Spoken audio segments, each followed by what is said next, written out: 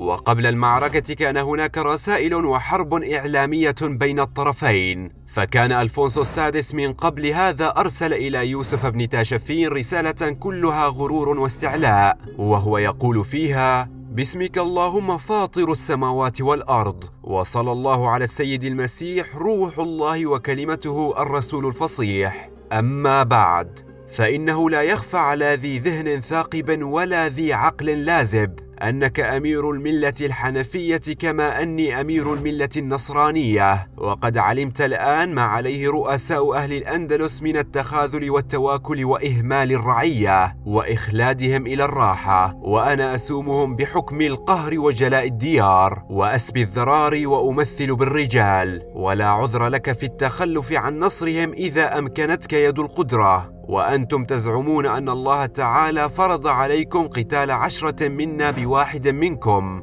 فالآن خفف الله عنكم وعلم أن فيكم ضعفا. ونحن الآن نقاتل عشرة منكم بواحد منا. لا تستطيعون دفاعا ولا تملكون امتناعا. وقد حكي لي عنك أنك أخذت في الاحتفال وأشرفت على ربوة القتال. وتماطل نفسك عاما بعد عام تقدم رجلا وتؤخر أخرى. فلا أدري أكان الجبن أبطأ بك أم التكذيب بما وعد ربك. ثم قيل لي عنك إنك لا تجد إلى جواز البحر سبيلا لعلة لا يسوغ لك التقحم معها. وها أنا أقول لك ما فيه الراحة لك. وأعتذر لك وعنك على أن تفي بالعهود والمواثيق والاستكثار من الرهان.